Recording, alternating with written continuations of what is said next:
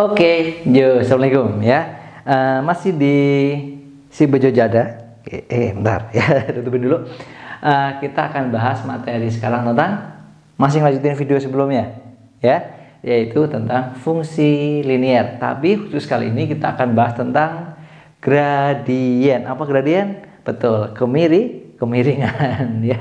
Kita akan bahas tentang kemiringan. Jadi kalau ada orang yang di pinggir jalan yang pakai baju compang camping nggak jelas gitu ya, karena nggak pakai baju berarti dia sedang mengalami otaknya mengalami gradien gitu ya. Oke oke. Tapi sebelumnya jangan lupa berdoa dulu sebelum belajar plus subscribe dulu. Oke ya? Oke okay, sip. Ah um, apa ya? Lupa saya. Oke okay, gradien ya. Kita akan bahas tentang apa tadi? Gradien gradien itu adalah kemiri kemiringan.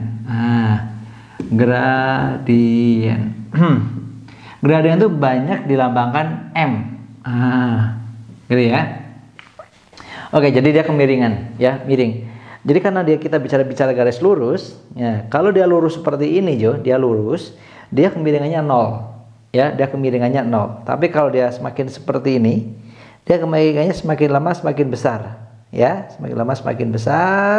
Kalau 45 derajat gitu ya 45 derajat gitu ya seperti ini dia nanti kemiringannya disebutnya satu semakin lama semakin besar semakin besar semakin besar Itulah yang disebut sebagai kemiringan. Makanya setiap garis itu punya nilai kemiringan, gitu ya. Oke.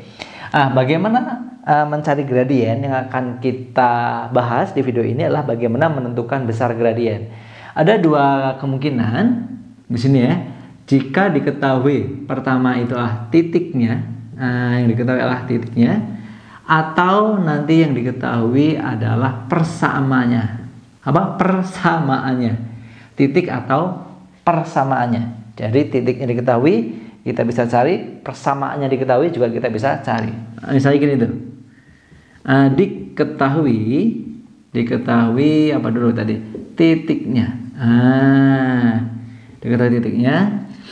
Mirip seperti bikin garis lurus. Misalnya ah misalnya gini saya punya sini X1, Y1, di sini punya X2, Y2, maka yang disebut gradien atau M, gradien atau M, bentar saya geser.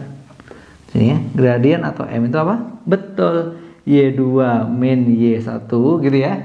X2 min X1 inilah rumus atau formula dari gradien yaitu selisih Y dan selisih X ini Y2 Ah, Y2 min Y1, X2 min X1. Gampang ya? Oke. Kita kasih awan. Jadi kalau rumusnya lupa, awannya masih ingat ya. Oke, misalnya nih, langsung aja saya masukin di sini. Misalnya kasih angka tuh. Sini saya 3,5 tuh. Di sini saya punya 4,8. Berapakah gradiennya? Nah, misalnya ini garisnya A ke B ya. AB Nah, disebutnya bagaimanakah gradien garis AB? Ah, gitu ya. Garis AB gradiennya gimana? Ah, tinggal kurangi Y2 minus 1. Y2-nya 8, Y1-nya 5. Berarti 8 min 5. Ah, gitu. Kemudian X2 min X1. X2-nya 4, X1-nya 3. Berarti 4 kurangin 3. 8 kurangi 5, 3. 4 kurangi 3, 1. Berarti 4 bagi, eh 4 3 dibagi 1. Atau hasilnya berapa? 3 tiga. Oh ternyata Jo kehalangan nggak nih? Ternyata Jo gradien AB itu garis AB nya itu ya gradien garis AB nya yaitu T tiga. Ah cakep dah. Nah ini gradien garis A AB nya ngerti ya? Oke miring nggak apa-apa dah ya. Hmm. Hmm. Gitu. sip. Itu gradien garis AB nya jika dia diketahui apa? Titiknya. Nah ini dia. Jika diketahui titik pakainya tuh Bagaimana jika diketahui persamaannya? Ini persamaan. Nah, persamaannya gimana kita diketahuinya persamaannya? Diketahui persamaan. Nah, gampang Jo.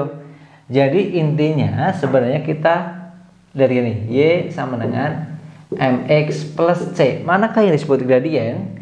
Yang disebut gradien itu ini m. Ah, m inilah yang disebut sebagai gradien. Nah, gitu ya.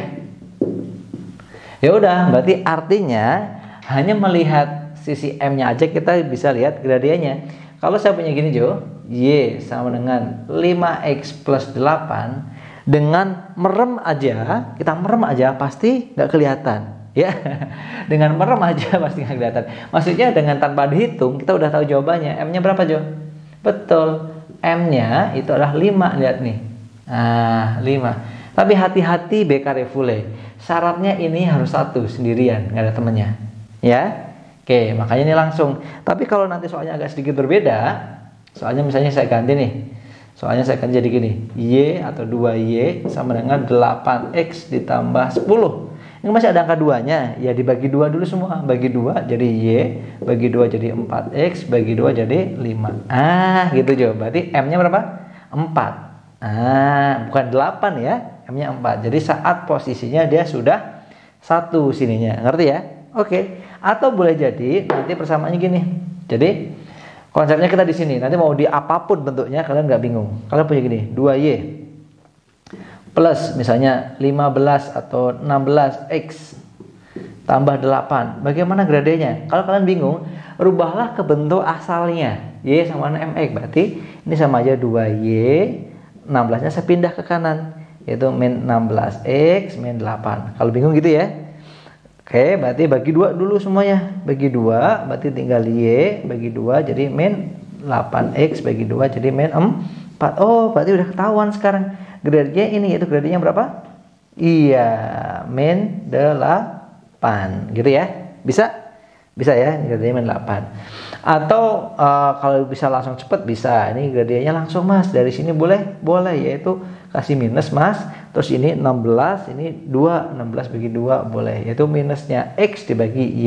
Nah, min 8 juga. Boleh seperti itu. Tapi yang penting konsepnya tahu ya, bentuknya itu Y-nya harus sendirian, lonely di sebelah kiri, X-nya di sebelah kanan. Nah, seperti itu. Itulah mencari gradien. Gitu ya, kebayang? Kebayang. Oke. Sip, cuman segitu doang sih untuk mencari gradien. Nggak susah ya. Oke deh. Oke, see you. Sampai ketemu lagi di video berikutnya. Bye bye. Assalamualaikum.